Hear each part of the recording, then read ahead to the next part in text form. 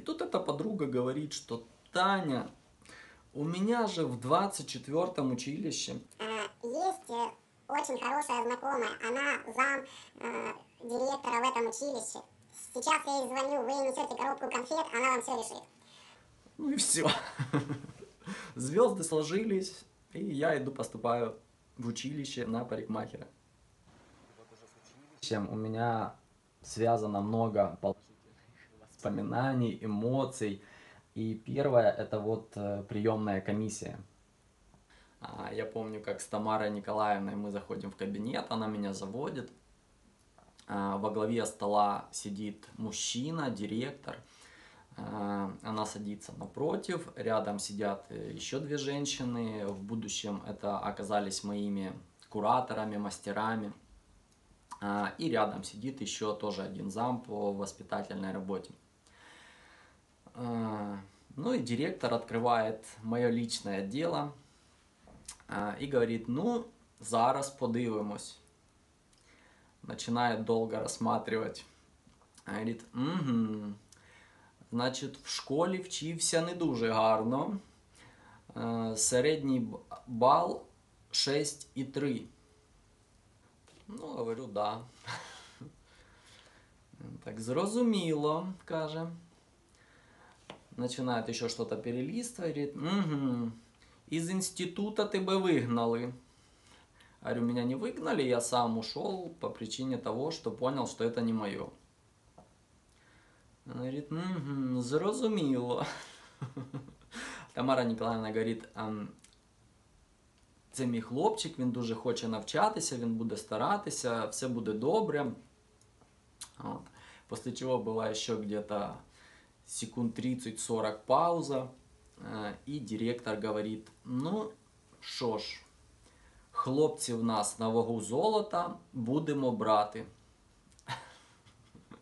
Как потом выяснилось, э, это означало то, что в училище, когда я учился, где-то на 300-400 девочек, вот я точно не помню, у нас было всего-навсего 7 парней. Тому хлопці були на вагу золота. И вот в училище э, моя жизнь была вот так само беззаботной, Э, еще беззаботнее, чем в институте. Но э, я понял вот, что я нахожусь в, в той атмосфере, в той обстановке, которая мне нравится. У меня все хорошо получалось э, именно по предметам специальным, по парикмахерскому искусству. Я всегда был э, в лидерах, я всегда там надо прически делать я, надо там песчаный карьер два человека я. Э, Меня за это очень любили, уважали. И еще был один очень важный плюс. э, То есть, кроме парикмахерского искусства, было еще э, много таких общеобразовательных предметов. И я на этих предметах э, казался таким очень умным и способным мальчиком. Опять же, это ни в коем случае не потому, что я был там умнее своих одногруппников отнюдь. Просто э, все мои одногруппники, кроме одной, по-моему, девочки, э, они все были вот еще такими вот зелеными после 11 класса, то есть они только закончили школу и пришли к своей мечте учиться на парикмахера. А Я же уже имел э, такую школу жизни. То есть я полтора года отучился в институте. Это очень серьезный опыт, э, который дал мне понимание, что не всегда, может, нужно вот все там учить, зубрить и стараться. Э, Нужно просто изначально себя классно зарекомендовать, кому-то написать рефератик, кому-то там купить банку краски, чтобы покрасить там полы в классе, кому-то чем-то еще помочь, там где-то выступить, где-то кого-то поддержать. И просто этот имидж нужно поддерживать. И тогда тебя все будут любить, уважать и прощать тебе любые недочеты. Вот. А плюс э, очень важным был момент, э, вот все время, пока я работал на стоянке по ночам, то есть полгода, э, в то время не было наших смартфонов любимых. Вот. И мне пришлось читать книги. Да, друзья. А, я помню, мне очень нравились исторические романы о Древнем Риме, о крестоносцах.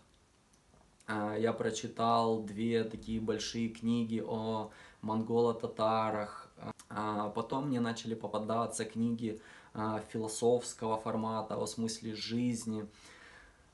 То есть, придя в училище, у меня уже были задатки осознанного человека – а, я уже мог э, из 7-10 слов собрать какое-то адекватное предложение, а из 3, 4, 5 предложений я мог собрать э, сформулированную, законченную мысль.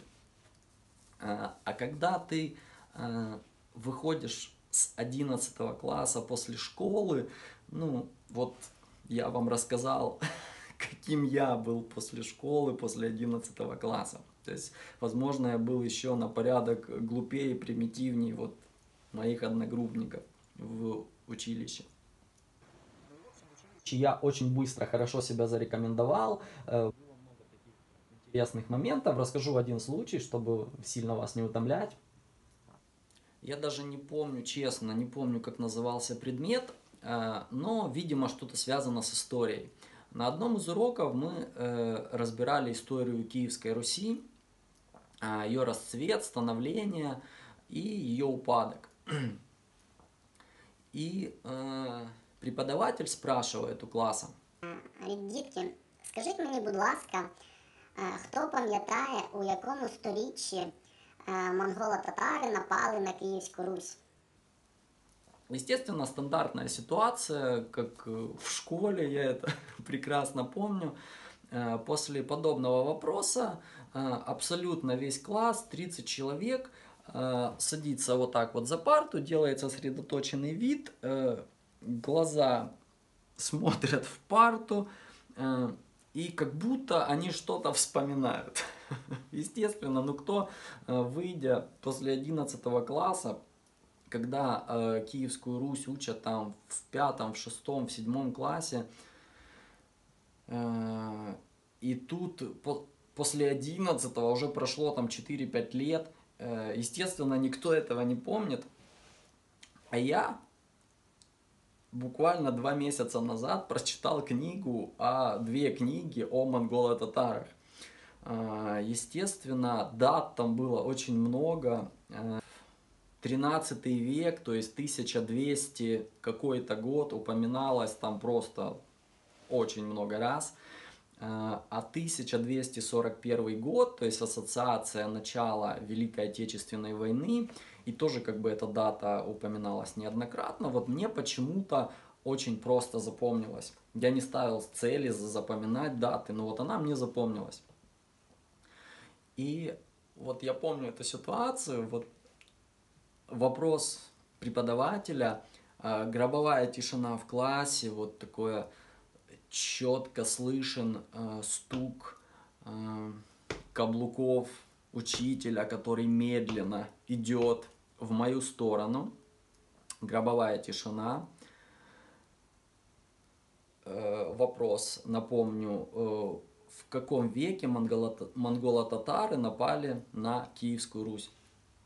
Ну, я смотрю, она ко мне подходит, я так спокойно говорю, 1241 год. И вот в эту секунду а, я помню ее взгляд, и вот в эту же секунду, буквально в один миг, все 30 человек, мои одногруппники, они сделали вот так вот. На меня. Удивленно, в шоке, все были в шоке. А, я сам растерялся на какое-то мгновение, ну, чтобы сгладить вот эту вот напряженную атмосферу, говорю, я просто буквально вот недавно читал книгу о монголо-татарском нашествии, говорю, и вот как бы запомнил дату. И тут учительница, она сама по себе была приятно удивлена, а тут еще, он еще и книги читает. То есть у него вообще был приятный шок. Ну и вот было как бы несколько таких ситуаций, после которых э, меня просто безумно полюбили все преподаватели в училище. Я без проблем находил с ними общий язык. э, И все у меня шло просто прекрасно. В обучение в училище пролетели как миг. И буквально перед э, экзаменами меня подзывает э, преподаватель, говорит, э, что к нам в училище заезжал директор, э, в Полтаве открывается новый салон красоты, и вот мы порекомендовали тебя еще нескольких девочек, им нужны. Они набирают мастеров в салон, и позвони, пообщайся. И после собеседования где-то через месяц э, меня взяли на работу, и вот так вот я начал работать парикмахером. Э, Это, конечно, был кошмар. Я, ну, давайте будем называть вещи своими именами, я просто уродовал людей.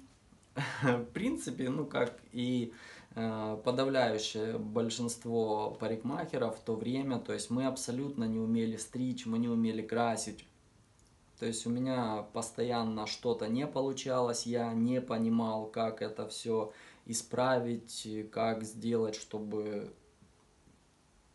То есть никаких понятий там о силуэте, форме, э, градуировке, линии. э, И так все длилось вот немного более чем полгода. Э, Я понимал, что э, нужно что-то делать, с этим нужно что-то решать, потому что были и недовольные клиенты, были и скандалы. Э, Я начал искать какие-то курсы повышения квалификации, тогда это было очень сложно. Сейчас в каждом городе есть куча школ, э, в каждом городе есть крутые мастера, у которых, э, которые проводят курсы. А, В то время а, было только две школы а, в Киеве. Это школа Владимира Тарасюка и школа Вячеслава Дюденко. Вот, но они были очень дорогими, плюс там нужно было обучаться какой-то период, несколько месяцев, полгода. Это время нужно было жить в Киеве, я не мог себе это позволить. Рассматривая все возможные варианты, я нашел э, курсы. Студия называлась Terra то есть это был просто большой крутой салон в Киеве. И там была одна комнатка, в которой э, их ведущий стилист э, проводил обучение. А, Я записался на двух или трехдневный курс по окрашиванию волос, но когда я приехал, э, передо мной поизвинялись и сказали, что э, мы готовы вам сделать скидку 25%, но э, мы будем вас учить стрижкам. Потому что приехали еще четыре девочки, вот они приехали на стрижки. А вы вот один приехали на окрашивание волос, и поэтому вам нужно подстроиться под девочек. Но поскольку я человек такой э, бесконфликтный, я не люблю ругаться, там, бить кулаком по столу и говорить, нет, вы не правы. Вот, я решил, ну, стрижки так стрижки, в принципе, э, в стрижках-то я тоже вообще ничего не понимаю.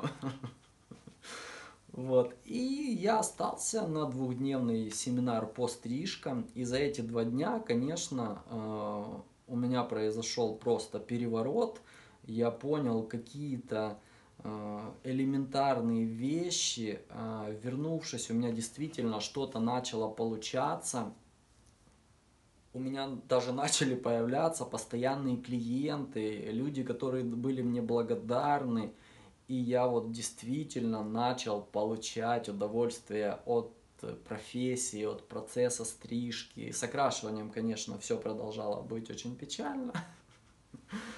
Очень о многом, наверное, еще можно рассказать, но это уже не путь к профессии, это уже а, становление. А, Так что я думаю, на этой ноте можно заканчивать. А, Я благодарен вам всем, кто уделил мне внимание. Кому было интересно, надеюсь, было не скучно, не занудно, а динамично. Всем спасибо, до скорых встреч.